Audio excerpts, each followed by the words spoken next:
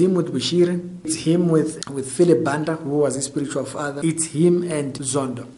Now, basically, everybody who has allegation of one form or another seems to be associated with him. Two particular stories that actually illustrate the subject of association. First, we're going to start with the Heavens International Minister, Pastor or Prophet Samuel Paul, and he's he's having some jabs with the issue, with some issues with CRL. He said he's to sue them for the hearings and all that. Yeah, that's the first story. Secondly, is this gentleman by the name of Apostle Moses, who says he's been talking jab about uh, Apostle Chiwenga. Okay, so we're to talk about these main subjects, but the the main theme of this entire episode is association. And so, reality show. We do daily Christian commentary videos. If it's the first time over here, we do this on a daily basis. And so you can hit that subscribe button. It helps out. It tells YouTube, you know, oh, okay, there's something going on. Maybe it's interesting, maybe not. Also, hit the like button if you do appreciate the video. And YouTube always tells me that there's 60% of you guys that are actually watching the videos that are not subscribed. So, hey, you know what? Give it a subscription, hit that red button. If you decide to change your mind later on, you can always unsubscribe. There's to be a little bit of an echo, maybe, maybe not, on these videos, but if it is not too much, I'm not to give myself a hassle over that. I'm still going to figure myself out in this new space with a particular giveaway. I will do it this week, don't worry. And so, uh, this subject of association. First, let's start with um, the, the, the, the, gentleman, the Chiwenga gentleman, the man who was talking about Apostle Chiwenga, Apostle Moses.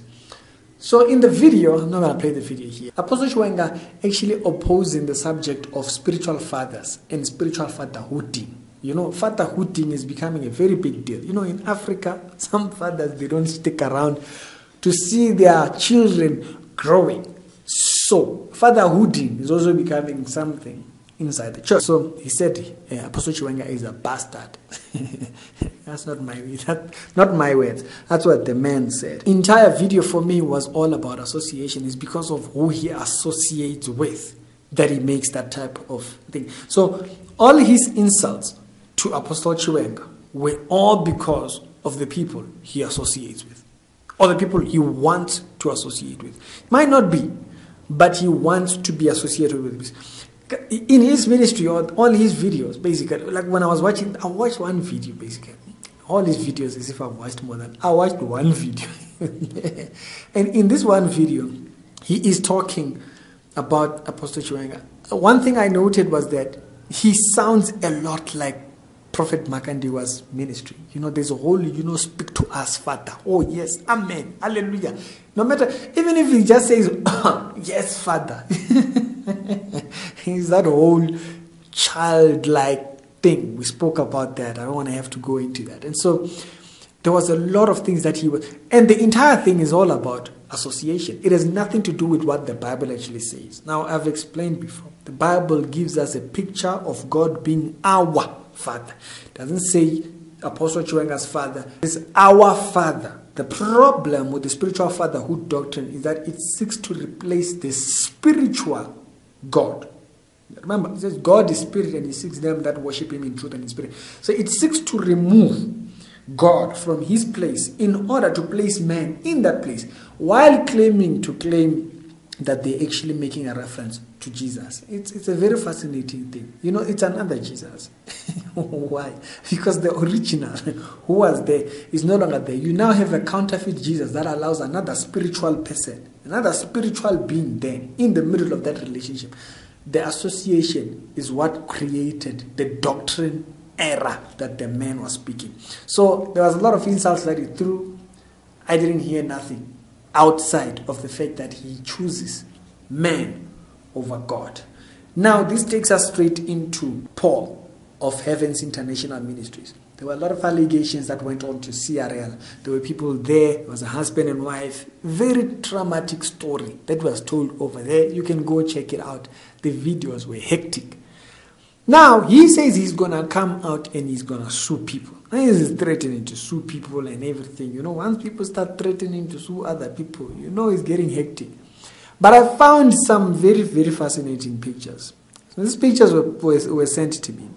First, it's him with Bushiri. It's him with, with Philip Banda, who was his spiritual father. It's him and Zondo. Now, basically, everybody who has allegation of one form or another seems to be associated with him. I found that very fascinating. Is that his association are people that we've been saying they've been having allegations of one form or another. And so those are the people that he associates with. And now to see that those are the people that he associates with and now have him. Remember, he made a video saying that people that are exposing people because they are wrong, they are going to be in trouble. Now, it makes sense why he was defending them because he's friends with these people. Now, not only is it making sense that he's friends with these people, but it also makes sense that he aligns himself with such individuals. Now, I'm not saying that whether these things are real or what. it has nothing to do with me. I'm nowhere there. What I'm reporting on is the nature of people you relate yourself to, or the people, the people that you kind of. Eh, and I'm not talking about taking pictures like, oh, this person took a picture with so and so. I'm not talking about that. I'm talking about the people that you associate with. When it comes to spiritual things like, you know, Christian stuff and all that kind of stuff, when it comes to this subject, these are very sensitive things. When it comes to doctrinal matters, like I don't know what what would have happened for you to see me taking a picture with Lekhanan. Under what circumstances are we going to be taking pictures? For what reasons exactly? You know, if we meet each other and we decide to greet each other, it's just I'm kidding, but you understand is that the associations that people create tell you of what they are willing to have around them. And what you have around you says something about you. Whether it's going to sue them or what, that leaves to be said. You know, people like saying that they're going to sue people, especially government. Ha, it's like a thing. and so for me, I found it very funny that for both these stories, it's all association that makes these people create the kind of relationships that they do. But not only association, association tells you who they support and who they disagree with. So when I saw Prophet um, Samuel saying that I was going to be sick and I was going to be what, what, and then I hear that he was there with Zondo, he was there with Bushiri, he was there with Prophet Banda. I'm not shocked. The association of the man tells you what he's going to see when he reads the Bible. Funny enough, the thing that he used to say that uh, to deliver his message to say people should be quiet about exposing people was on a Bible. He used a verse. I was even shocked. if you didn't approve it, they would be standing nowhere near you. It's Ricky, it's a reality show. I gotta go and I'll see you later on. Y'all be good, be blessed. Salute.